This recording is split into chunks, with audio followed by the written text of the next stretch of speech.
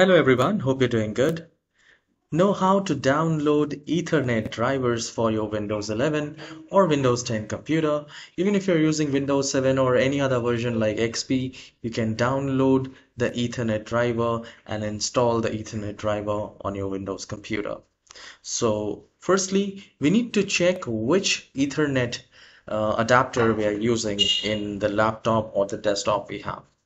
So for that, you just need to do a right click in the device in the start icon and then click on device manager.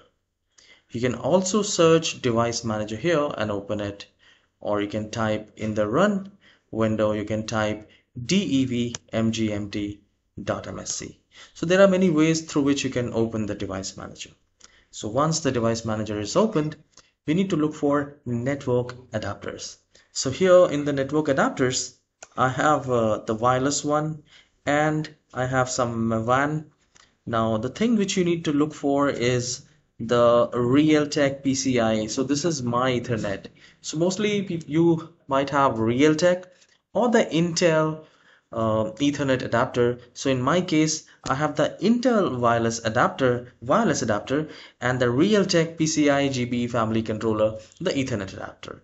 So I'll just uh, take the note of it, Realtek, and I'll open the browser and I'll type Realtek PC GB family control driver.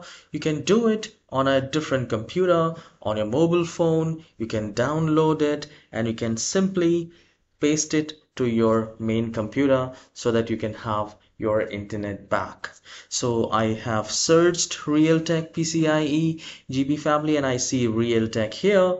From I'll I'll click here and we can download from here for Windows 11 for Windows 10 as well as Windows 8 8.1 XP Vista. There are a lot of options. Now here for Windows 10 I just need to click on download and from here Windows 11 I can click here. There is also one more website here support.lenovo.com Realtek PCI GB family. You can download from here as well. If you're using Windows 10 you can download.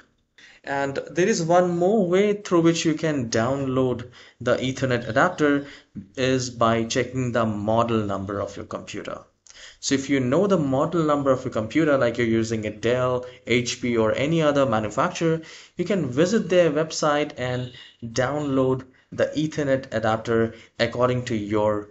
I hope you have enjoyed this very short tutorial. Please hit the like and subscribe. I'll see you in the next tutorial. Have a wonderful day.